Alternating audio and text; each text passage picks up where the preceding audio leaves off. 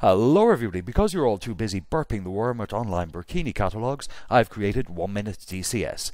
This time I'm covering INS setup in the Mirage 2000C. Set your INS operational mode selector to N and your operational mode selector to ALN for align. Set your parameter selector to LG. You will notice a flashing ALN in the alignment panel indicating the mode.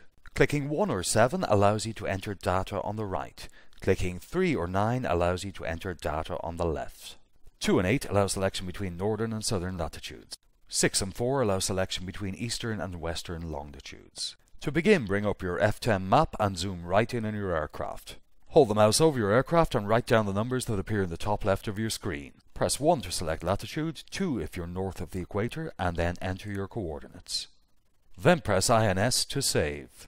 Press 3 to enter latitude and 6 if you're east of Greenwich. Enter your coordinates placing a 0 in front of the first set of double digits. Press INS to enter or EFF to clear. Switch parameter to altitude and enter altitude proceeding with zeros. Set operation to STS and press VAL to begin.